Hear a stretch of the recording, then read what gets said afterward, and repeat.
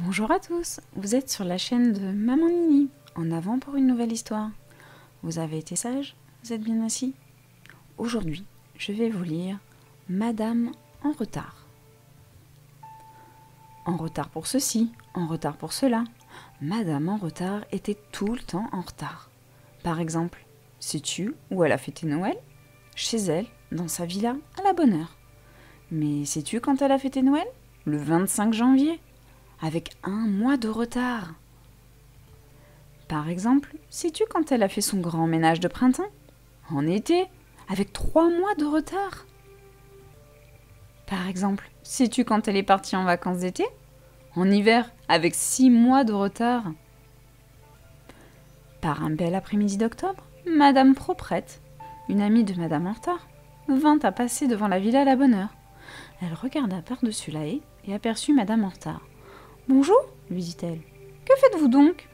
Oh, jetons ma pelouse Ah, ce n'est pas trop tôt, lui fit remarquer Madame Proprette. Vous auriez mieux fait d'y songer en avril dernier. Si nous allions en course toutes les deux demain, proposa Madame Proprette. Oh, bonne idée, dit Madame Horta. Dans ce cas, euh, retrouvons-nous à l'angle de la grande rue à deux heures. D'accord, j'y serai, promis, Madame Hortard. Le lendemain après-midi, Madame Proprette arriva à deux heures précises, à l'angle de la grande rue. Elle attendit cinq minutes, dix minutes, un quart d'heure. Elle attendit encore. Enfin, Madame en retard arriva. Oh, pardon, lui dit-elle, je ne suis pas très en avance. Oh, vous êtes plutôt en retard, répliqua Madame Proprette. Il est sept heures et tous les magasins sont fermés. Oh, pardon, répéta Madame Mortard. Avec elle, c'était tout le temps comme cela. Un jour, Madame en retard décida de travailler. Elle trouva un emploi dans une banque. L'ennui, c'est qu'elle y arriva à l'heure de la fermeture. Le lendemain aussi, le surlendemain également. Oh, pardon, disait-elle à chaque fois. N'empêche qu'on la renvoya. Elle trouva un deuxième emploi, serveuse dans un restaurant. À midi, Monsieur Glouton arriva. Il regarda le menu. Hum, servez-moi de tout, deux fois, s'il vous plaît. À cette heure, il attendait encore. Alors, il rentra chez lui. Oh, pardon, dit Madame en retard. N'empêche qu'on la renvoya. Madame en retard trouva un troisième emploi, secrétaire de Monsieur Malpoli. Que ces trois lettres soient tapées en fin de journée, avant que je rentre chez moi, lui ordonna-t-il. Il rentra chez lui à cinq heures. Du matin. Oh, pardon, dit Madame Horta. N'empêche qu'il la renvoya. Cependant, tout a fini par s'arranger. Madame en retard a trouvé le métier idéal. Elle travaille chez Monsieur endormi. Elle lui fait son ménage et sa cuisine. Le matin, elle nettoie la maison.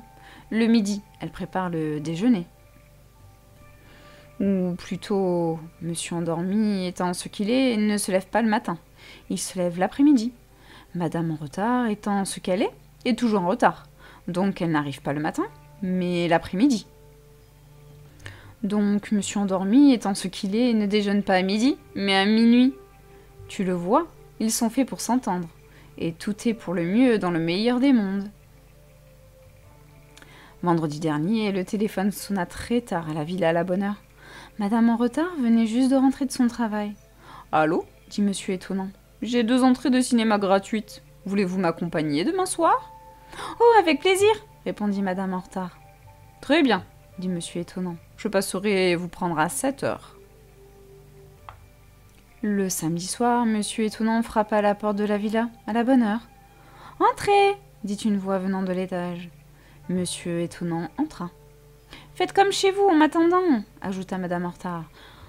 J'en ai pour. Une minute